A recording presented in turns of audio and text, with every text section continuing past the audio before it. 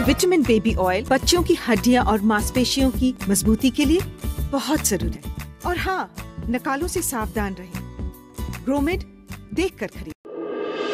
प्रधानमंत्री नरेंद्र मोदी ने आज एक बार फिर कहा कि उनकी सरकार 2022 तक किसानों की आय दोगुनी करने के लिए लगातार कोशिशें कर रही है, जिसके लिए केंद्र सरकार ने कृषि क्षेत्र का बजट दोगुना कर दिया है। मोदी ने आज वीडियो कॉन्फ्रेंसिंग के ज़रिए 600 से अधिक जिलों के किसानों से सीधी बातचीत की और उनकी समस्याओं को सुनते हुए हर संभव मदद का भरोसा दिलाया। बिहार बोर्ड ने मैट्रिक परीक्षा के रिज़ल्ट की तारीख आगे बढ़ा दी है। मिली जानकारी के मुताबिक बिहार बोर्ड अब मैट्रिक परीक्षा का रिज़ल्ट 26 जून को जारी करेगा। सूत्रों की माने तो गोपालगंज के स्ट्रांग रूम से करीब तैतीस हज़ार कॉपियाँ गायब होने के बाद बिहार बोर्ड ने ये फैसला लिया है। बिहार बोर्ड की लापरवाही के कारण एक बार फिर लाखों छात्रों का भविष्य बर्बाद होता दिख रहा है। रोहतास ज़िले में ईद के मौके पर राष्ट्र विरोधी गाना बजाने के मामले में पुलिस ने बड़ी कार्रवाई की है। पुलिस ने देश विरोधी गानों पर डांस करने के आरोप में आठ लोगों को गिरफ़्तार किया था, जिनमें पाँच नाबालिग शामिल हैं। पुलिस ने सभी के खिलाफ देशद्रोह का मुकदमा दर्ज कर लिया है। फ़िलहाल पुलिस इस मामले में बीस अन्य आरोपियों की तलाश में जुटी है। गया ज़िले के टिकारी में ड्यूटी ज्वाइन करने जा रहे बीएमपी जवान के अपराधियों ने गोली मारकर हत्या कर दी और फिर मौके से फरार हो गए। जानकारी के मुताबिक अपराधियों ने बीएमपी जवान गुड्डू पर ताबड़तोड़ छह गोलियाँ दाग दी, जिससे उसकी मौके पर ही मौत हो गई। वारदात के बाद स्थानीय लोगों ने जमकर प्रदर्शन किया और पुलिस के खिलाफ नारेबाजी भी की।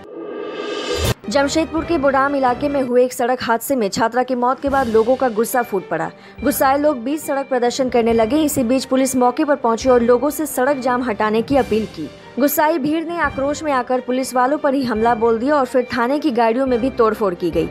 इस हमले में थाना प्रभारी समेत सात पुलिसकर्मी घायल हो गए। भाजपा सांसद शत्रुघ्न सिन्हा ने एक बार फिर केंद्र की मोदी सरकार पर हमला बोला है।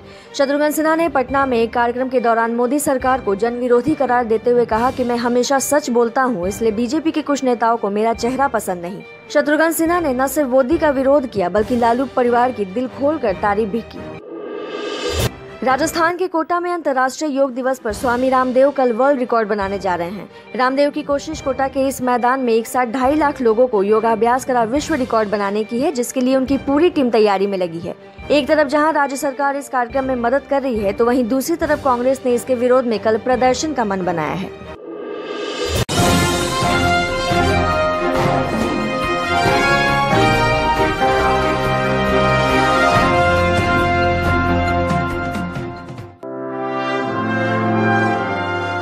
बस एक बटन दबाएँ और जीते ढेरों इनाम। मोबाइल घड़िया, चांदी के सिक्के और ढेरों इनाम। बस रिपोर्टर्स इलेवन को सब्सक्राइब करें और बेल आइकन दबाएँ और बन जाए विजेता।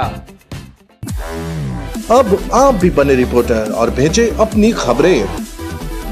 सिर्फ़ रिपोर्टर्स इलेवन पर। सच दिखाने की ताकत रखते हैं हम। अगर आपके अंदर है कुछ करने का दम तो हमसे जुड़े।